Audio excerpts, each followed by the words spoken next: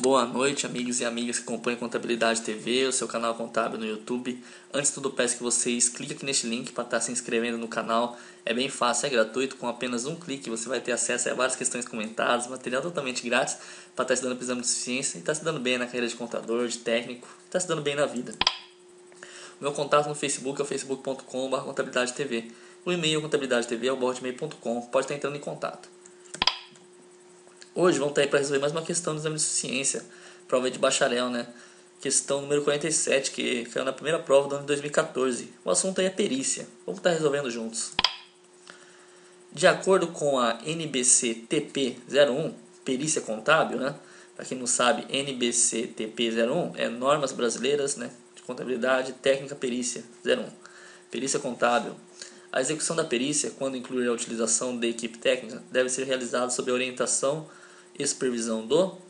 Aí tem quatro alternativas, tem que estar encontrando a alternativa correta. Essa questão aqui, ela foi uma das poucas questões assim que eu posso dizer que foi fácil, né? Foi uma questão dada no exame de suficiência, porque todos nós sabemos que a prova de bacharel estava muito difícil, assim como a prova de técnico também estava muito difícil, estava assim nível bem complicado e complexo e foram poucas questões que, como essa que caiu.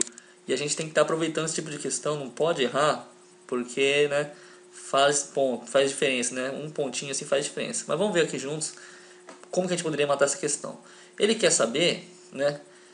Aqui, segundo a norma de perícia, é, quem que deve orientar a equipe técnica do perito?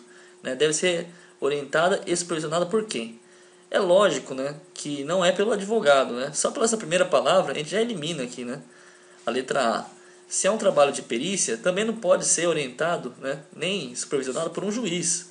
O juiz ele pode até pedir um trabalho de perícia, mas não orientar. Isso aí é responsabilidade do perito, como diz na letra D de dado. É o perito que assume a responsabilidade pelos trabalhos, devendo assegurar-se de que as pessoas contratadas estejam profissionalmente capacitadas à execução.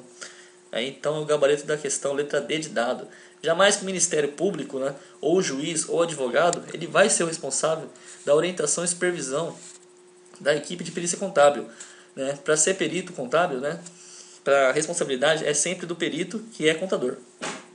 Portanto, é gabarito letra D de dado. Não tem nem que olhar aí, né, o que diz o restante da questão. Com essas primeiras palavras aqui, você já mata ela, né? Por exemplo, advogado, você risca, juiz, você já risca, Ministério Público, você risca. Perito é quem assume a responsabilidade pelos trabalhos, devendo assegurar-se de que as pessoas contratadas estejam profissionalmente capacitadas à execução. Ou seja, você mataria essa questão aí com atenção em, sei lá, 30 segundos, você mataria. E é tempo precioso que você ganha para estar tá resolvendo questões aí mais complexas, né?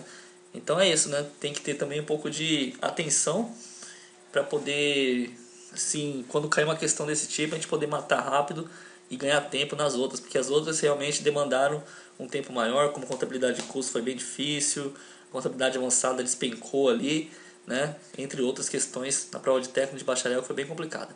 Se ficou alguma dúvida, eu peço que envie um e-mail aí para contabilidade TV, hotmail.com, vou ter o maior prazer em respondê-las. Também peço que clique nesse link para estar se inscrevendo no canal. É muito fácil, é gratuito, com apenas um clique você vai ter acesso aí a muitas questões comentadas, material totalmente grátis para estar estudando precisando de ciência, está estudando bem na carreira de contador, de técnico, enfim, até de perito, por que não?